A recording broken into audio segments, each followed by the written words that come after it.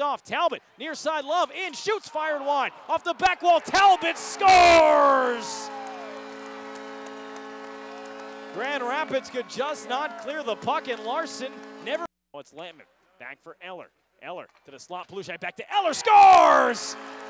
What a feat from Palushaj. Second assist of the game for him as Lars Eller scores his first power play goal of the season. And The out to the blue line. Pyatt with a drive and a kick save by Bishop. The rebound is there, and they score.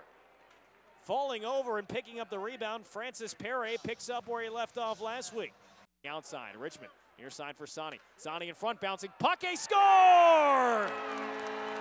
Sonny threw one towards the goal and it hit off the body of Adam Cracknell. A right-handed shot goes in on the forehand of the backhand and scores! Of the goaltender. He comes in, far side, opens up, goes for it, and scores! Tallackson in, forehand, backhand, forehand, scores!